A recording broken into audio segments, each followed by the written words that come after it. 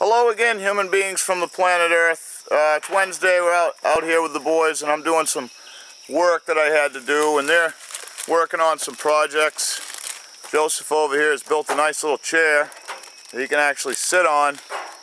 And Zach and Isaac are over back here working on uh, a bench with a rustic look, a log look.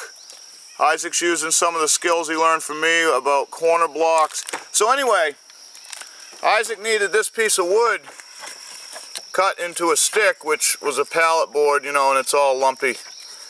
And he asked me if uh, I wanted him to get my chalk line, you know, that's how you make a straight line. But for rough stuff, you don't need a line, or I don't need a line. And so he said, we'll do it with your eyes closed then. So I did. Did I not, Isaac? Yep. With my eyes closed. But I said, nobody's going to believe that. I don't want anybody to try this at home. But I do want you to constantly be reminded that master of many things is not a fallacy. And so, here's a little more evidence. If uh, Zach would come over here and hold the camera. Zach, you don't have to do anything but uh, show my eyes, okay? Again, don't try this at home. Skill saw.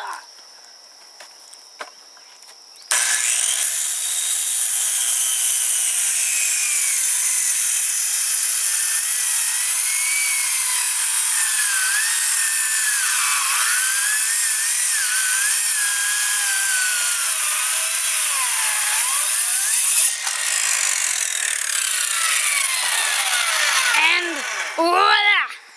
Now, I can guarantee you that that piece of wood is straighter than any cut made with a line with the eyes open with a brand new saw by any newbie or any uh, half the guys that have been doing it 10 years. So, it's not a brag or a boast.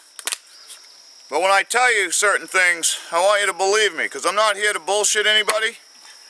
And I'll give my skills away free because it's the only thing I have.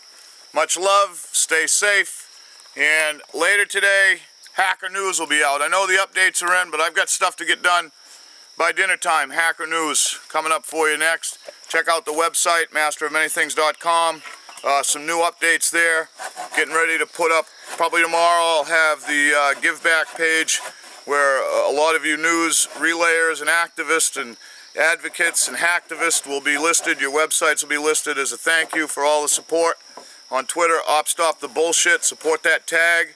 I want to bring all of us together. All of us activists are fighting. We're not getting together. Support that, please. Share information to that tag. Check out some nice pictures, videos, otherwise that support the cause. Much love. See you soon. Did you get it off?